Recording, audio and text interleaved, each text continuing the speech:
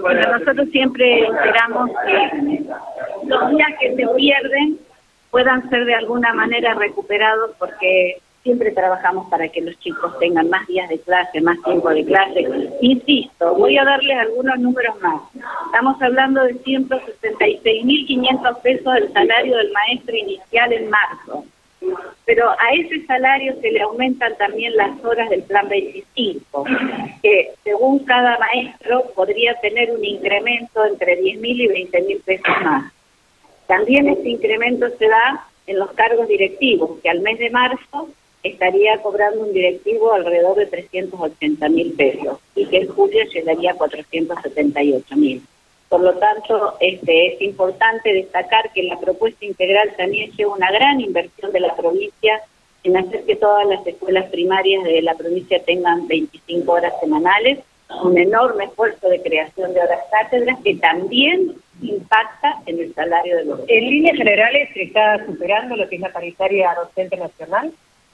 y claro que lo está superando. Y si comparamos también este, los montos de los salarios iniciales, ustedes piensen que la paritaria nacional garantizó un mínimo de 130 mil pesos y nosotros estamos arrancando en el mes de marzo con 166 mil pesos más, como decía, las mejoras para el maestro de grado, que es el cargo testigo, que aporta el plan 25. ¿Y ustedes plan B si no aceptan los gobiernos?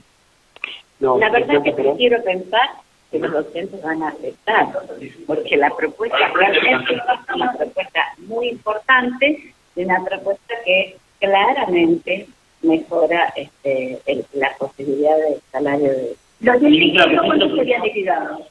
¿Cómo? ¿Los 10 mil pesos cuándo serían liquidados? Bueno, con el mes de marzo. Eh, Recién te lo preguntaba el ministro Fusinelli.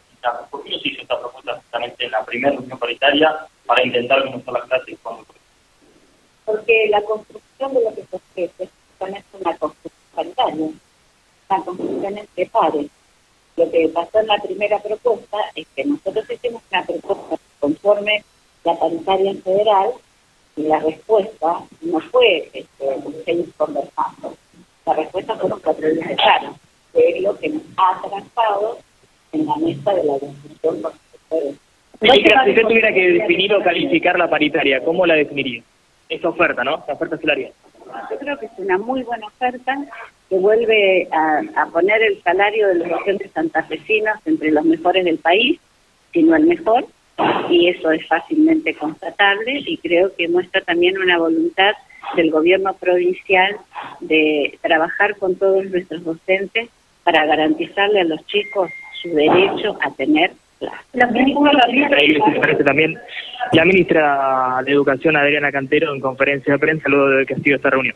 Impecable, impecable laburo en las tres opciones. Abrió Lucas con la información, tanto con Pusineri allá en Casa de Gobierno, tanto con Jorge Oman en representación de los estatales, y ahora en la conferencia con Alonso, en las cuatro, porque también estuvo el momento donde aparecieron Pusineri, que se trasladó hasta acá, hasta Rivadavia, donde está el Ministerio de Trabajo, y la ministra y la ministra Cantero. Felicitaciones, Lucas Chau.